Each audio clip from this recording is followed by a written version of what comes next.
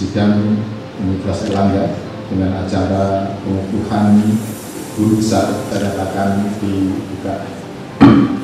Eh, tahun 2019 ini UNER panen guru besar ya. Sepanjang pengamatan saya ini adalah yang terbanyak sepanjang sejarah saya kira. Ada beberapa hal yang menjadi penyebab mengapa pada tahun ini itu sangat banyak guru besar yang SK-nya turun. Pertama saya kira ini dampak dari aktivitas dosen-dosen kita dalam bidang Tridharma yang memang meningkat secara signifikan.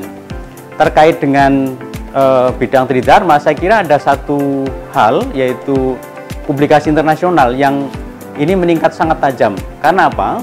Publikasi internasional ini menjadi syarat utama untuk seseorang bisa ditetapkan sebagai guru besar. Kemudian yang kedua, adanya penyederhanaan proses e, pengajuan guru besar serta e, mempersingkat alur pengajuan guru besar. Harapannya jumlah guru besar di Universitas Erlangga itu bisa dalam 2-3 tahun ke depan itu bisa mencapai e, 20% dari jumlah dosen yang ada. UNER Channel melaporkan.